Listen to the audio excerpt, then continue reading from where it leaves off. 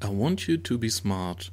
Lesson 18. Jung, dynamisch, digital, völlig blöd. Und erfolgreich damit. Ich beginne mal mit einem Zitat, was euch dann zeigen wird, worauf ich hinaus möchte. Aufpassen. Egal welche politische Partei, egal wie hoch oder niedrig, bei einer Wahl verloren hat, die wichtigste Wahl, die jeden Tag getroffen wird, ist die Wahl, die der Konsument an der Kasse trifft. Denn politische Macht hin oder her, bezahlt und entschieden, wird immer noch mit Geld.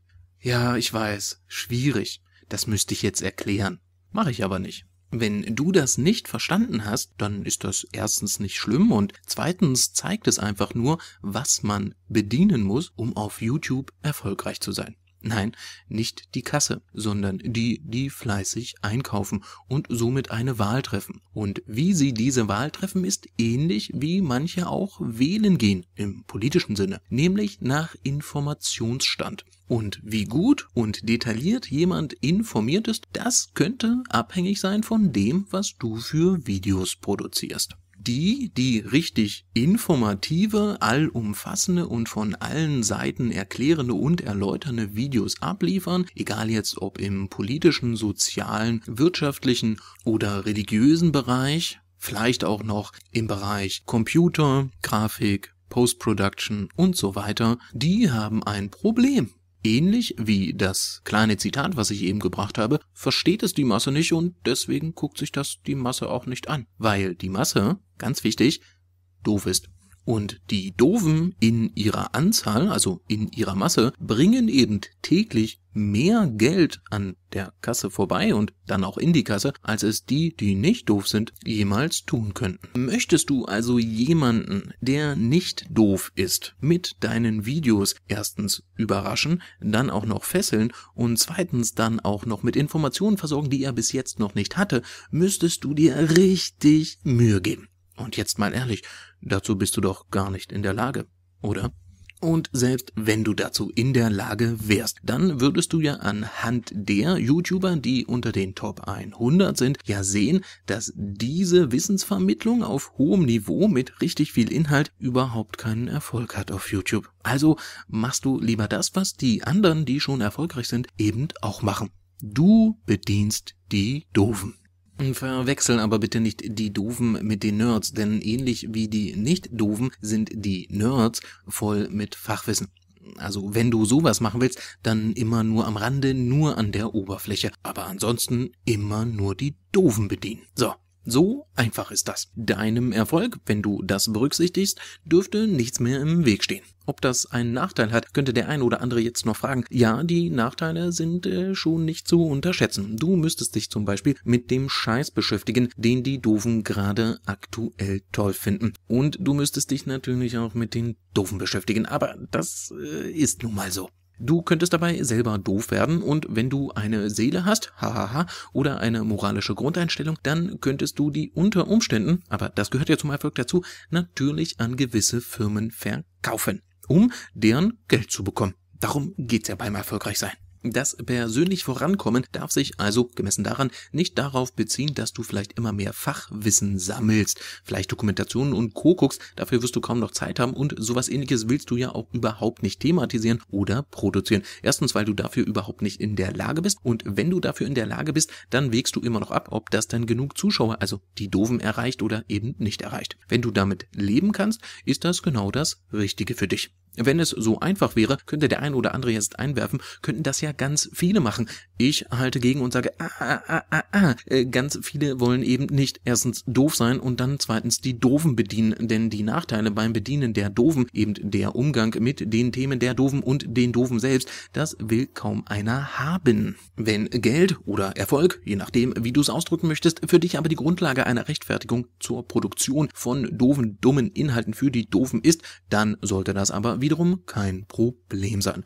Bitte frag mich nicht, ob das für mich eine Rechtfertigung wäre, dementsprechend nur noch dumm, Laber und Scheiße abzuliefern.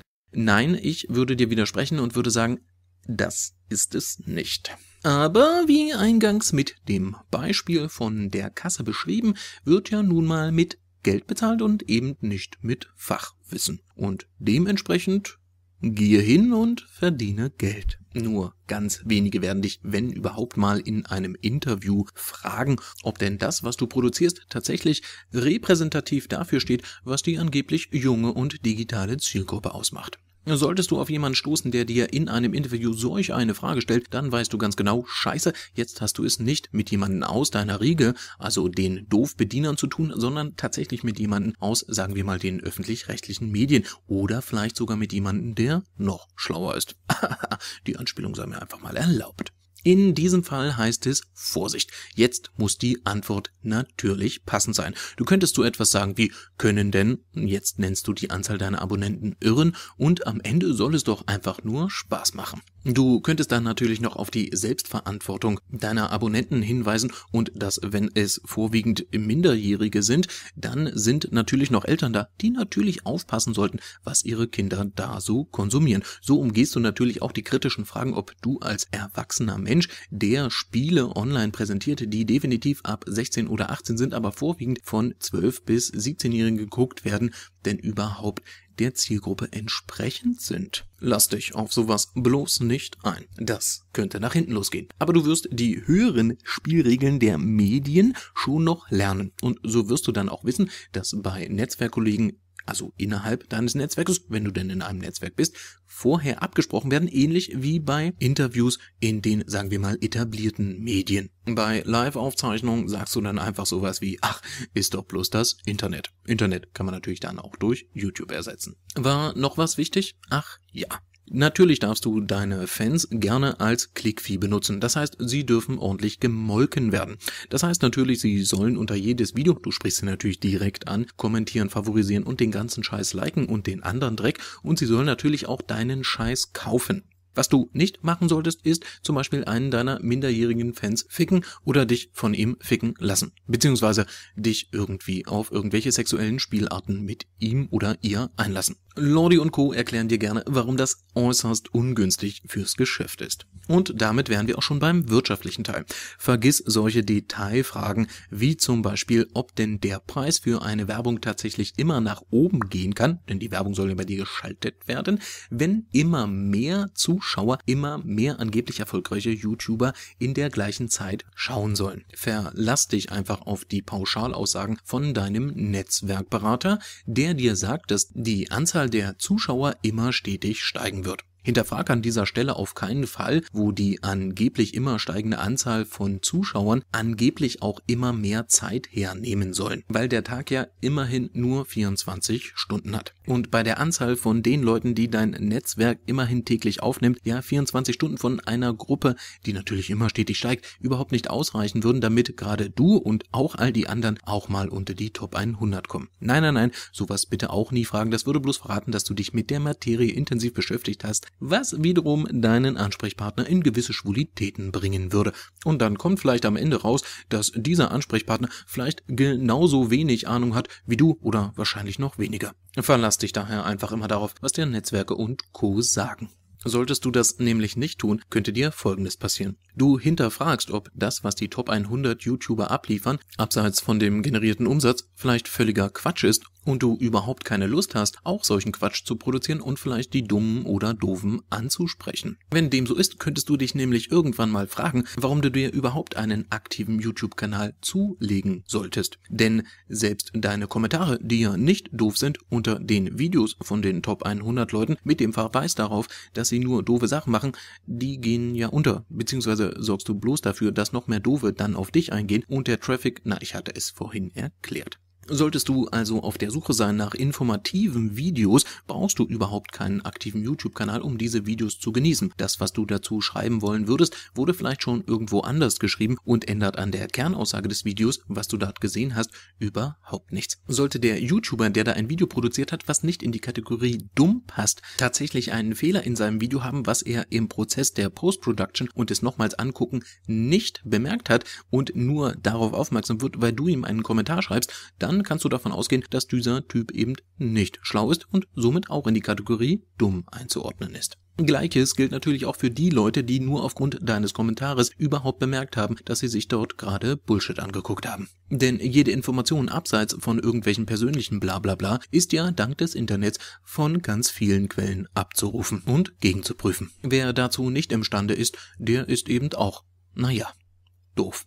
Wer jetzt anhand und aufgrund meines kleinen Dialogs und der vermittelten Einsichten mir die Frage stellen möchte, warum ich denn überhaupt Videos mache, die sich hauptsächlich mit dem Thema Doofheit beschäftigen, dem möchte ich digital einen Strauß Blumen zuwerfen. Denn wenn in der digitalen Welt, um beim Beispiel mit der Kasse vorhin zu bleiben, neben Bitcoins und fragwürdigen kostenpflichtigen Abos für schnelleren Zugriff auf gewisse Dateien eben mit Zeit bezahlt wird, dann bin ich nicht mehr bereit, bereit, mit meiner Zeit diesen Scheiß zu finanzieren. Zwar schützt mich Adblocker vor der geschalteten Werbung auf den Videos der Doofen oder für die Doofen, aber meine Zeit habe ich damit immer noch nicht zurück. Und somit ist der logische Schluss aus all dem, was ich gerade erzählt habe, außer man möchte auf YouTube erfolgreich sein, dass man sich diesen Scheiß einfach komplett entzieht um dann wieder Zeit zu haben, um all die tollen Beiträge, Dokus, Informationssendungen und Co., also all den Kram, der auf YouTube nicht erfolgreich ist, wieder in angemessener Zeit und Aufmerksamkeit widmen zu können. Denn wonach ich meine Wahl treffe, ob nun an der Kasse oder an der Urne, hängt ja direkt davon ab, wie gut ich vorab informiert worden bin, um aufgrund dieser Informationen meine Wahl zu treffen. Und das möchte ich auf keinen Fall mehr den Idioten oder Doofen überlassen.